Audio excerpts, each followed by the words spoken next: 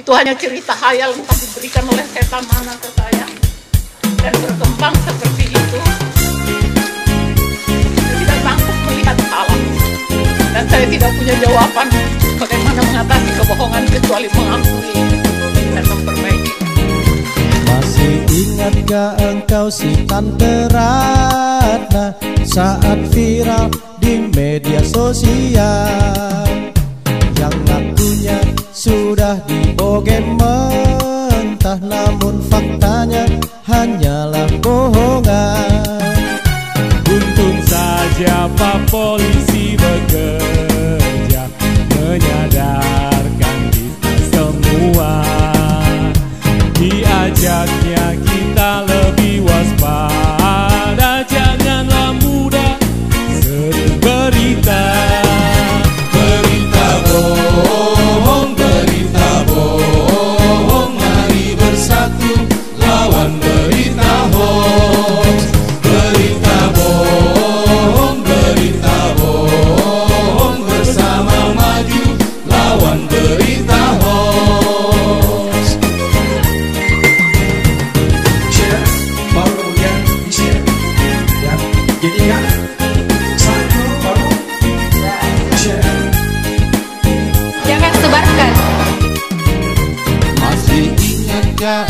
engkau di Ratna